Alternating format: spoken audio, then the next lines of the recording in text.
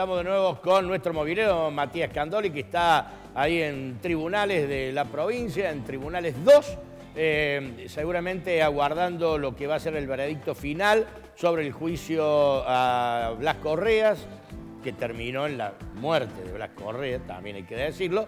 Está con la mamá de Blas. A ver, Mati Candoli, ¿cómo estás? Eh, ¿Cuál es la sensación luego de escuchar las últimas palabras de los imputados? Tristeza, la verdad que esperaba escuchar otra cosa. Pero bueno, me, fue una falsa ilusión que tuve. Eh, yo pensé que iban a decir otra cosa. Ya está, no lo dijeron y bueno. Hubo pedidos de disculpas, eh, reivindicaciones de todo lo que venís haciendo desde la muerte de tu hijo. ¿Cómo lo tomas?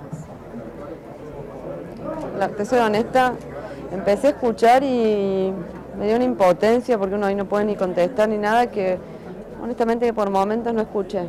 Eh, no sé, a lo mejor es porque no me llegaron las palabras, a lo mejor es porque tenía otra expectativa. Eh, creo que hasta públicamente lo había dicho para que se lo hicieran llegar, que no se, pusieron ahí y me pidieran disculpas, se dijeran que son inocentes, dieron alegatos, eh, hablaron de su dolor.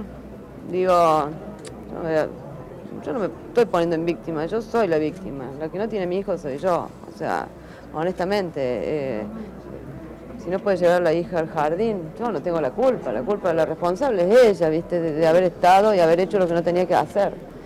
Ellos sí son responsables de traerme acá hace siete meses, de que yo llore a mi, a mi hijo y que yo hoy esté acá frente a todos ustedes, algo que no me imaginé nunca.